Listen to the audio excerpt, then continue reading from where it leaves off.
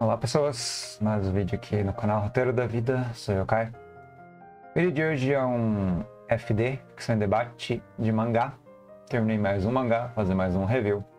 Esse mangá por tabela eu já tinha visto o anime, e eu comprei o mangá devido a isso também. É um anime que eu particularmente gostei muito. É... Tinha algumas críticas na época, mas nem lembro quais eram. Mas agora vi o mangá. Como vocês já estão sabendo com spoiler, tá no chart do negócio lá no thumbnail e no título. É o Your Lie in April, né? Em inglês fica Lie in April, em o título original em japonês é Shigatsu Akimi no Uso, né? Shigatsu Akimi no Uso. Eu vou falar do mangá. Esse também é a mesma coisa com o anime, então vai mangá barra anime, né? O anime, no caso, tem 23 episódios. 22 episódios, mais um OVA, então dá 23. O OVA é meio que OVA bônus de Blu-ray, acho, Blu-ray, alguma coisa assim. Aí é um OVA de 23 minutos tal, mas não é necessariamente importante, embora seja um apêndice, um extra, em relação à história, eu diria. Mas o mangá, da vez, tem 11 volumes. Eu não lembro os capítulos, eu já vejo quantos capítulos tem já no My Anime List, mas por enquanto tem 11 volumes. Vou mostrar as capas para vocês. É um mangá muito da Panini, muito bem feito, eu diria. Eu adorei a encadernação, embora seja papel jornal nada é perfeito, né? Ele tem essa, essa dinâmica de a capa da frente ela é parcialmente exibida aqui na parte de fundo e tem aqui uma uma um preview do, do episódio episódio do mangá anterior e tal. Esse aqui é o volume 1. Vou jogar para cá. Depois eu arrumo. Aí temos o volume 2. Que é uma capa que eu gosto particularmente demais. Muito bonita. Novamente aqui sempre tem uma parte da capa na, na contracapa. Eu achei a capa, o papel que eles usaram para fazer a capa, né, muito delicado, muito gostoso de manusear. Eu gostei bastante da estrutura que a Panini resolveu empregar na obra, né? Claro que é um mangá em geral, tem, era 14 reais na época, né? Mas em geral ele não é um mangá de grande, grande, grande qualidade, né? Nem nada, porque vocês sabem que o Panini não faz os mangás de extrema qualidade nem nada, né? Mas mesmo assim eu gostei, pelo menos da capa e da textura do papel que eles usaram. Eu achei muito agradável de, de tocar o papel, é uma coisa muito particular, né?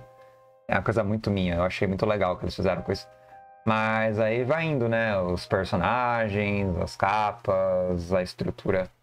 É, toma cuidado para ler pra você não estourar a lombada, como sempre, porque Sabe como é, né? Hoje em dia isso aqui deve estar, tá, de acordo com o reajuste da inflação, 30 conto. Tá? Um mangá desse que é 30 reais, era 13 na época. Isso devido à economia, você tem o reajuste da inflação, papel, sei lá o que.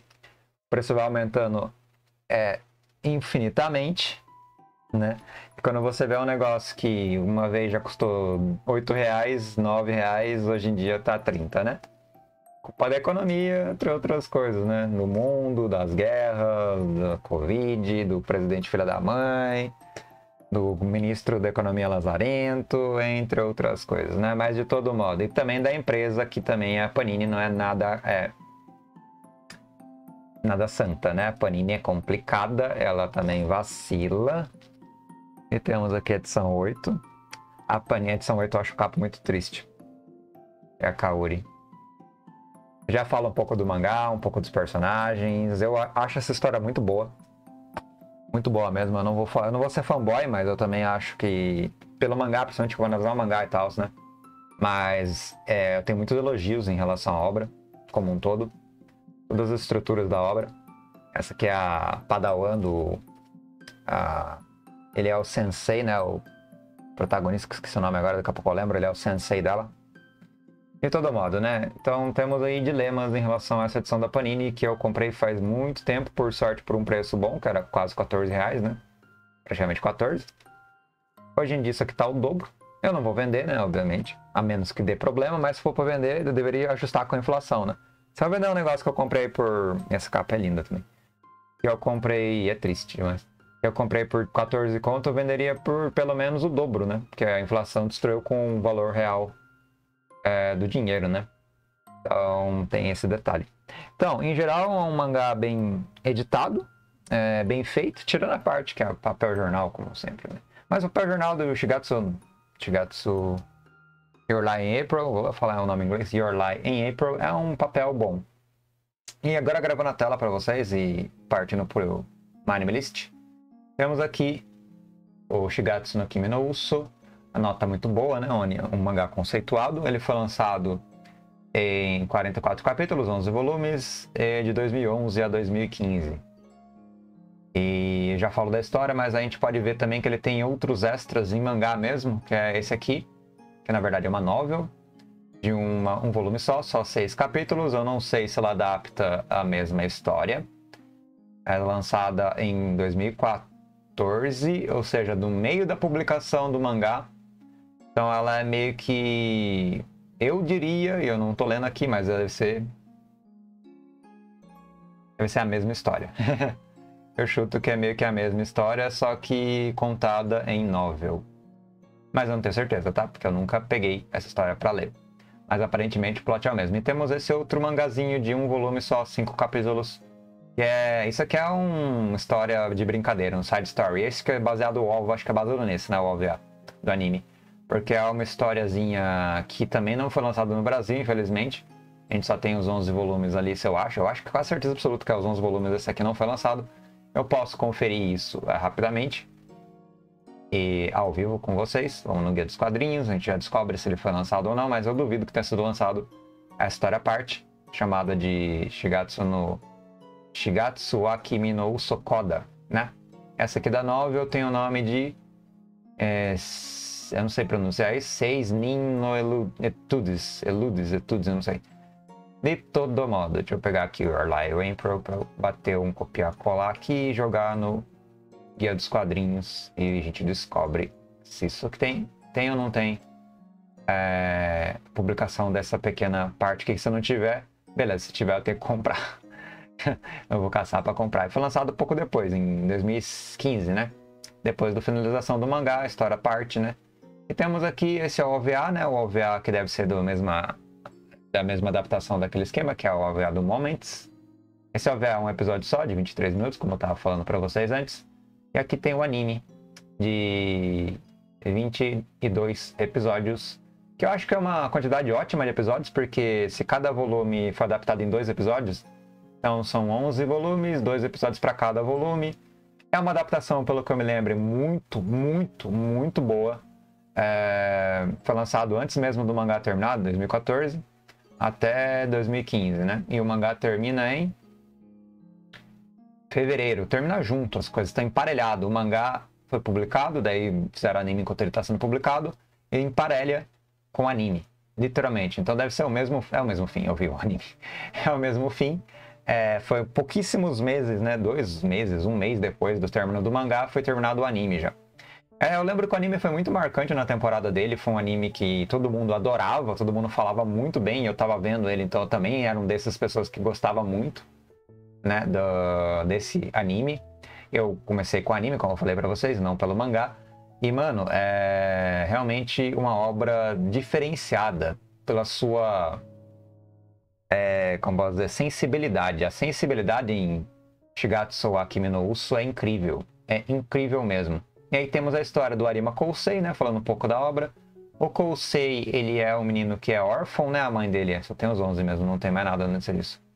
Aí não lançaram o mangá outro lá. Então ele é um menino que é órfão, né? A mãe dele morreu. O pai dele, eu acho que abandonou ele, não sei direito quem é o pai dele. A mãe dele meio que criou ele sozinho, né? Eu não lembro direito o que aconteceu com o pai dele. Mas a mãe dele era uma pianista e ela estava doente, uma doença degenerativa, tal, que ia inviabilizando ela. É, inviabilizando não, é ah, como é que é a palavra? Ela, ela ficando cada vez mais é, debilitada, é debilitando ela, ela ficando cada vez mais atrofiada, até em cadeira de rodas e tal, e nisso ela fica muito paranoica no fim da vida, sabendo que vai morrer e vai deixar o filho mais novo. Ela dar um destino pro filho mais novo, que ele tenha uma, um futuro, que ele tenha uma profissão, que ele seja alguém na vida, né? Ela sabe que vai morrer. E ela, em pânico, ela começa a ensinar piano, porque é a única coisa que ela sabe fazer, porque ela é pianista, ela aprendeu, foi na faculdade e tal, ela é pianista profissional. Ela começa a ensinar o filho, que é o Arima Kousei, é, a arte do piano. Isso bem novinho, lá para os seus 4, 5 anos, bem, bem jovenzinho. E ele já com uns 8, 7 anos, ele já é um ótimo pianista, sabe? É um pianista prodígio e tal. E ele é muito sensível, ele é muito emotivo, ele é, toca piano de maneira muito é, alegre, porque ele ama o piano, ele ama a mãe dele. Só que a mãe dele, conforme ela vai avançando na sua degeneração de doença, ela vai ficando mais violenta, ela vai ficando impaciente, ela vai ficando agressiva. Ela vai querendo que ele seja um profissional mecânico para ele ter uma vida, né, para ele ganhar dinheiro, para ele ganhar a vida. E essa preocupação dela gera brutalidade na relação ela começa a bater nele para ele ser mais e mais perfeito, mais e mais adequado. E é um tipo de amor violento, desesperado. E ela vai macetando o Kousei ao ponto do Kousei ficar extremamente traumatizado. E aí chega num ponto onde ele toca e ele foge da partitura e ele interpreta de maneira mais, digamos, livre. E aí ele fica muito puto com ela, ele xinga ela, ele briga com ela e depois ela morre. Logo depois depois de poucos, é, poucos dias, poucas horas depois, ela acaba falecendo. Isso dá um bloqueio ferrado com ele. Ele tinha 11 anos na época. Dá um bloqueio fudido. O Cousei, ele desaba, assim, desaba. Não tem mais... Ele não rela no piano por dois anos. Ele fica totalmente traumatizado. Ele para de conseguir escutar o piano. Ele não consegue nem escutar, porque ele tem um bloqueio psicológico tão forte que a sensorialidade dele é, é obliterada, entre aspas. Ele perde a capacidade de a longo prazo, depois de tocar o piano por algum tempo, é, ouvir o retorno do piano. E aí ele começa a desistir da carreira. Ele mantém ali uma, uma, uns trabalhos, uns freelancers, mas ele começa a desistir. E a história nada mais é do que o que é o Kousei como pianista. Quem é o Kousei como pianista? Por que, que ele é tão importante, extremamente importante para a vida de todo mundo? Ele é o núcleo central da vida de todos os personagens. Literalmente, ele é o, o sol de todo mundo. A gente pode pegar o nome deles aqui, por exemplo. Ele é o sol da Kaori Miyazono, que foi inspirada por ele a, a se apaixonar pela música. Quando ela era bem novinha, lá para seus 6 anos, 8 anos no máximo, ela viu uma apresentação do Kousei e o Kousei, ele com a música, ele tocou o coração dela, porque a música no mangá é dito como as palavras não ditas, né? É a, é a poesia pronunciada pelos sons, por assim dizer. Entre outras metáforas que o mangá usa que são muito bonitas. E nessa, é, esse sentimento que é desbravado através da sonoridade atinge a Kaori na sua infância e faz a Kaori que tocava piano na época querer tocar violino. Ela muda de profissão, de profissão de, de, de direcionamento, porque ela vê que o piano é do Kousei e ela quer ser a violinista para acompanhar esse músico. Ela se apaixona pelo menino, né, de uns oito anos, completamente assim, de alma mesmo, e ela direciona a vida inteira dela para ser uma equivalente a ele. Ela mimetiza a paixão que ele tem na infância tentando fazer a mesma lógica que ele fez naquela apresentação. A Tsubaki é uma amiga de infância, simplesmente é, ela acompanha o Kousei desde sempre. É vizinha também, né? Vizinha do lado. E ela é como se fosse a irmã mais velha ou a irmã mais nova, não sei. A grande companheira e também uma apaixonada, porque é aquele esquema de amor de primeira, primeiro amor, de infância e tal. E de fato ela ama de, muito o Kousei. E ela é a grande amiga, né? O Atari é um personagem mais secundário, né? Tão principal assim. Embora seja importante em relação a Kaori, principalmente. Ele é só um cara galinha, meio adolescente, cheio de hormônios, atleta, né? Que tem alguns conflitos ali em relação ao esporte, conflitos intelectuais. Mas a história é tão focada no Kousei e na música que ele fica bem piscanteio. O Atari é bem suporte na, no mangá e no anime como um todo. E a Tsubaki também é bastante suporte, na verdade. No anime é menos um pouco, no mangá ela é mais suporte ainda ela não tem tanta expressividade, por assim dizer, né? Ela não tem grandes destaques. E aí, ela também, o Atari é o menos influenciado pelo Kousei, ele não tem nenhum vínculo com a música, ele é só um amigo, tá? Agora, a Tsubaki, ela é também pela música, né? Mas pelo conflito negativo da música, porque o Kousei, ele sempre foi muito disciplinado e a mãe dele não deixava ele sair de casa. Então a Tsubaki tem uma treta com o Kousei por ela nunca conseguir ficar próxima dele, né? Ela tem uma grande carência em relação à proximidade com o Kousei. Então a música na, na vida do Kousei para ela é negativa, porque sempre atrapalhou a vida dela. Só que ela respeita o Kousei e ama ele como um todo. Então a música faz parte dele, ela ama a música que ele propaga. Só que ela tem dificuldades por causa que a música ocupa um espaço muito grande na existência dele. Isso, de maneira geral, até ele ter o bloqueio ali e ficar, né, diferenciado. E a Amy é a outra musicista que competia com ele nos com, os concertos, acho que é, os concursos Concertos e concursos na fase da infância, lá para os seus 10 ou 9 anos, eles eram competidores, eram rivais. E ela vê no, no Kousei uh, uma lenda dos sentimentos. Uma lenda dos sentimentos. Ele, ele, ela viu a apresentação dele, a primeira apresentação dele quando ele era bem pirralho, lá com 6, 7 anos. Ela se apaixonou junto com a Kaori, a mesma apresentação que a Kaori viu, ela viu. e ela ficou apaixonada pela música e não pelo indivíduo. Tá, é diferente a paixão de cada uma. A Kaori apaixonada pela música e pela expressividade do coração do Kousei, a Amy pela sentimentalidade expressa e não pelo indivíduo, é, digamos, masculino ou indivíduo é, é um não sentimento em relação a afetivo, né? Afetivo em relação à paixão. Mas ela se apaixona pela expressividade. E ela direciona toda a carreira de piano dela tentando se igualar ou pelo menos perseguindo o Kousei. Mesma coisa que o Takeshi faz, só que o Takeshi de um outro ângulo. Ele conhece o Kousei um pouco depois, na fase metrônomo humano do Kousei, que ele era um leitor de partituras fidedigno, que expressava plenamente o que a partitura queria dizer no sentido mais mecânico possível. E o Takeshi, nesse sentido, era um grande admirador devido à técnica. Ele é, vai pela técnica e não pelo sentimento. E a técnica do Kousei era uma técnica incrível incrível, ele é, ele é, habilidoso pra cacete. Só que ele era habilidoso já traumatizado pela mãe e forçado pela mãe a ser habilidoso. Ele treinava 8 horas por dia, mais que isso. Piano o dia inteiro e a mãe dele macetando ele e tal. E é muito violento. A Nao é bem suporte, é a melhor amiga da Tsubaki.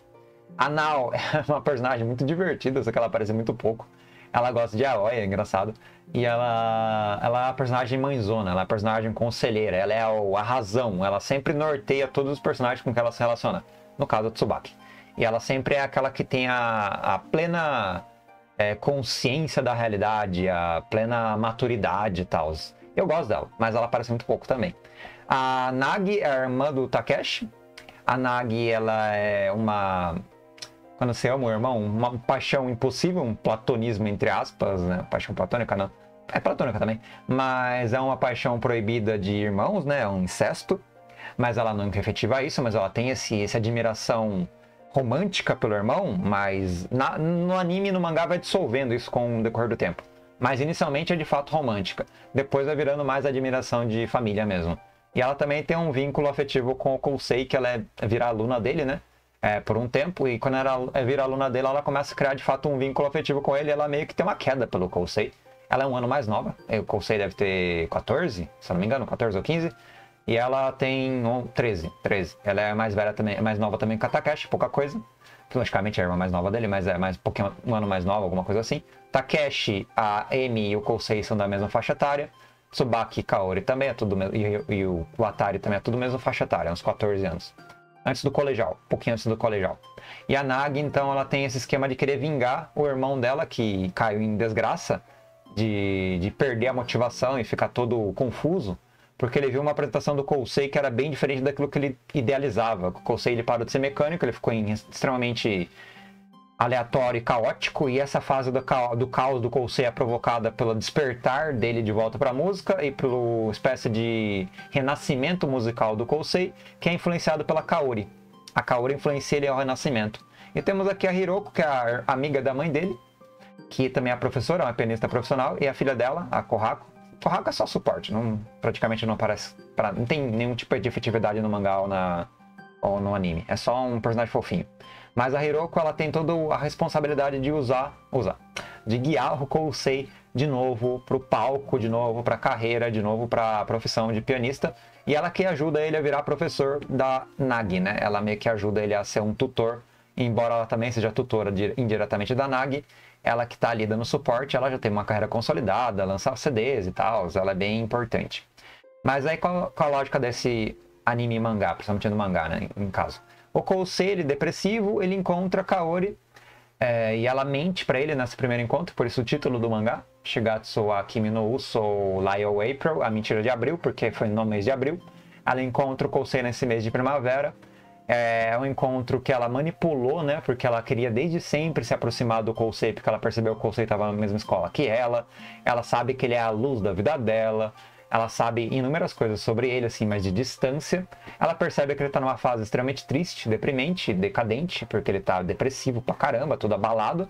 E ela meio que dá um start, né, na vida do Kousei. E esse start ela encontrar com ele e pedir para ele acompanhar ela num recital de violino, como acompanhante pianista.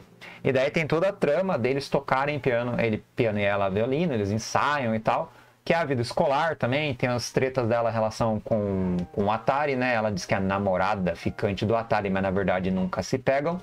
É, a Kaori tem esse esquema de mentir constantemente pro Kousei para ficar sei lá, enrolando ele, manipulando ele levemente de maneira meio altruísta, né, em certo sentido, porque ela está corrigindo e incentivando ele, corrigindo a depressão dele.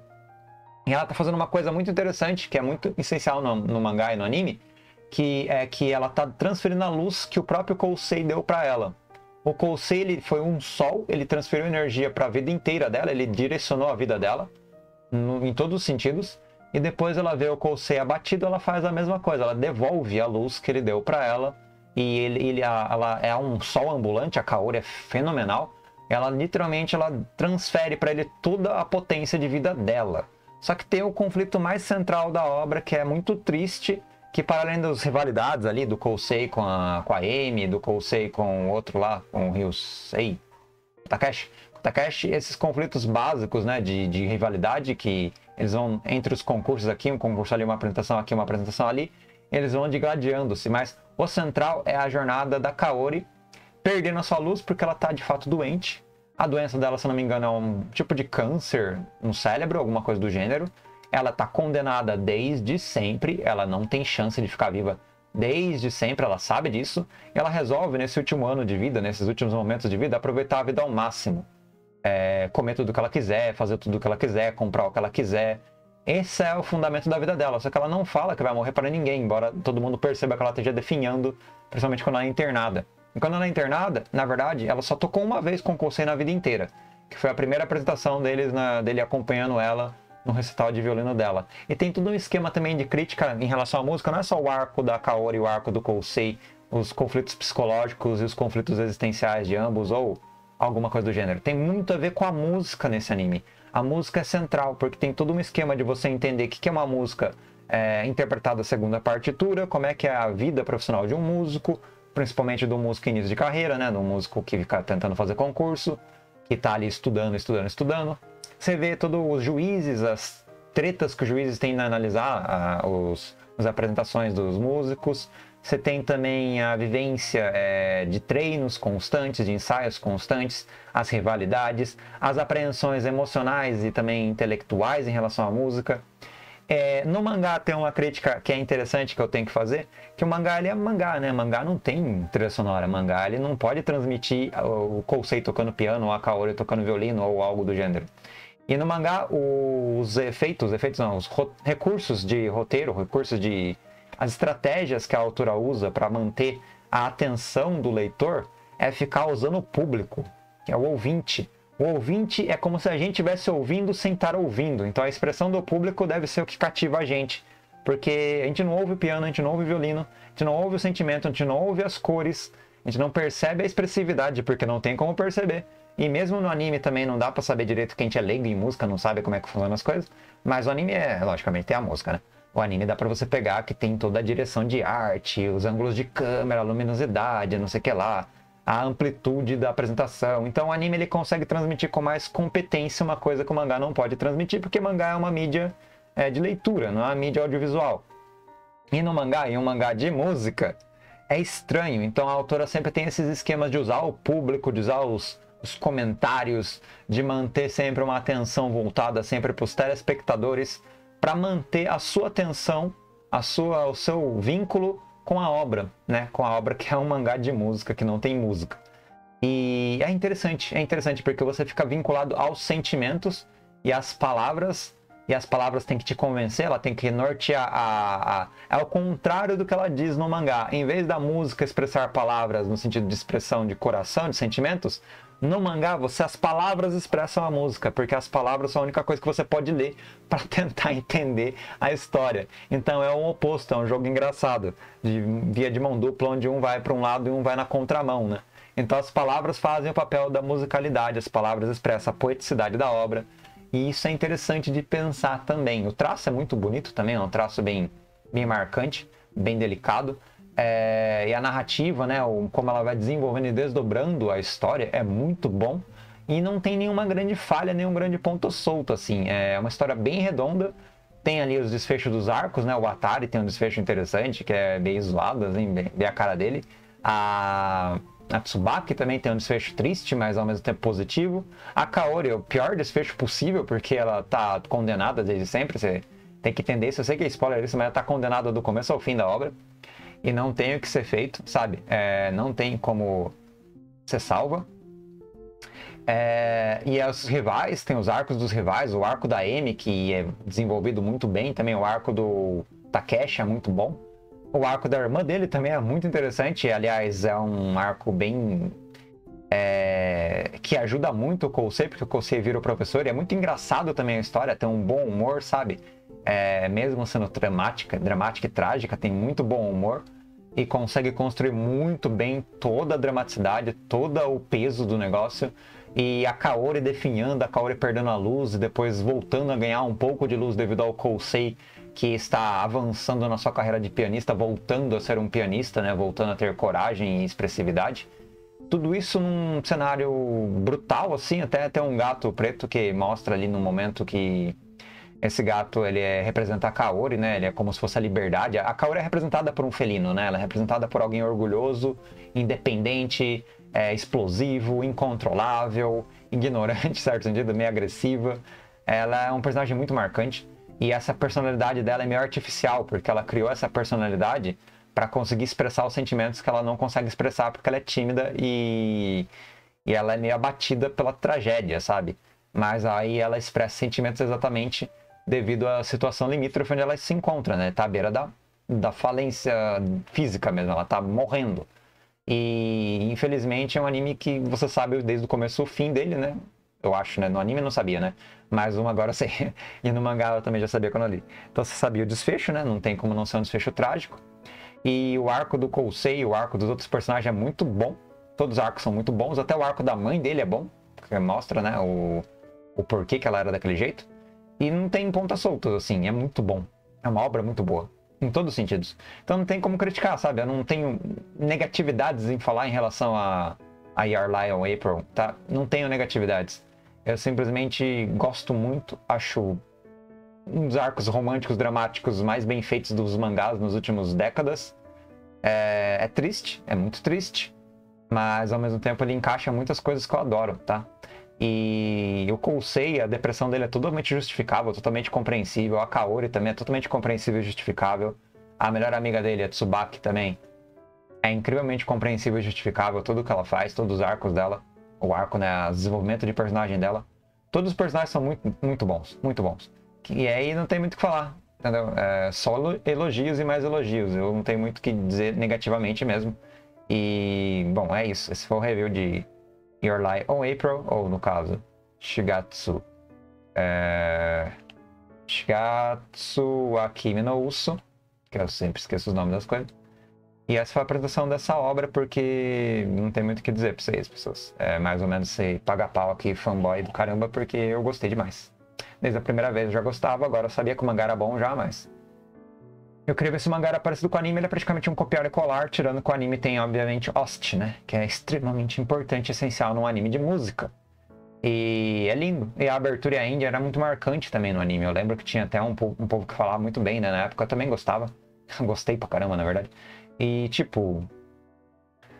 Bem, eu tô aqui fazendo mais uma homenagem do que um review, né? Porque é uma obra referencial. E agora pra partir pro próximo mangá, e bora ver o que acontece. Mangá longo também, tem bastante volume e tal. 16, se não me engano. E é isso. Mas obrigado aí pela presença, pessoas. Desculpa aí não definir em detalhes algumas coisas ou elaborar muito outras coisas. Tem uma coisa central que eu queria falar que é importantíssima, é um, só para estudar desfecho, eu estava esquecendo disso, é importante. Que eles têm uma filosofia incrível durante o primeiro volume, que é a filosofia da Kaori. É a filosofia da abordagem dela em relação à partitura e à música. A Kaori, ela é o caos ambulante, ela não respeita a partitura, ela toca no ritmo, no, no modo como ela quer, ela acelera, diminui, ela intensifica a nota, ela diminui a nota, ela tem a dramaticidade muito, é, é, de fato, explosiva, né? Ela é muito rebelde, muito, é, entre aspas, anarquista, por assim dizer, em relação a tocar partituras. Isso é muito bom porque na filosofia, ou mesmo na música, a expressividade da, da partitura, que é meio que a orientação, que é as letras, as palavras, elas dizem uma coisa, elas são uma possível leitura. O como você interpreta e transforma isso na realidade é outra coisa. E o quanto mais você consegue fugir da mesmice, fugir do tédio, fugir da, da segurança e da regra e expressar o seu coração na música, mais a música ganha sentido na sua existência e ganha de fato sentido em ser música. Isso na filosofia é a mesma coisa, porque quanto mais você foge do livro, quanto mais você dá cores novas, mais você explode a leitura, um comentário que não visa apenas compreender o filósofo, mas visa expandir o pensamento, expandir as conexões, entender as amplitudes infinitas o melhor possível, as cores possíveis numa leitura. Quanto menos está preso a uma leitura de um filósofo, ou de uma palavra, ou de um sistema, ou de um debate, mais interessante pode ficar a conversa e o diálogo mais interessante é os desdobramentos da influenciados por essa perspectiva, por essa inspiração. E aí tem todo o conflito entre tradição e, digamos, vanguarda, né? Desdobramento de, de, de, novas abordagens. E é muito legal no mangá isso. E mostra isso com muita força no primeiro, segundo volume, né? Eu nem lembro da frase em específico, mas é uma frase muito marcante, muito boa muito interessante mesmo, assim, que me faz muito sentido como pesquisador, ou como leitor, ou como comentador, ou como postura de vida, porque eu não sou uma pessoa de partitura, eu sou uma pessoa de explosão. É igualzinho a Kaori, então eu vejo, eu me vejo assim, pelo menos, não tenho certeza se eu sou isso. Mas eu me sinto muito identificado com esse tipo de rebeldia, com esse tipo de falta de respeito, em certo sentido, de falta de, sei lá, é, de liberdade criativa, por assim dizer que ela expressa e o que ela influenciou o Kousei novamente a fazer isso, que ele era um metrônomo humano, né, um grande vencedor de concursos através da leitura da partitura, mas um cara que não errava as notas nem nada, mas que não tinha identidade, não tinha expressividade. No anime, com a trilha sonora posta no anime, que é de fato as músicas, eu não sei, porque eu não sou músico, eu não sei diferenciar um, muito assim a expressividade de leitura de partitura, né? De você ler a partitura no sentido mais mecânico e você fazer a partitura e interpretar ela de maneira mais livre e sentimental. Eu não sei direito, tá? É uma coisa minha. Mas só a teoria disso no mangá e no anime, que seja, é uma teoria que eu acho válida e eu defendo, tá? É uma teoria que eu acho fundamental. Uma aplicação de, de postura no mundo em relação a, a, as coisas com que você está interagindo e sendo influenciado. E a Kaori é uma luz ambulante. Depois ela decai, obviamente, mas é, por causa não tem como não decair, né? A situação dela é muito triste. Mas é muito legal todo esse percurso de abordagem que ela tem. E o fim do anime é lindíssimo. Eu lembro do fim do anime, é muito mais impactante que o mangá.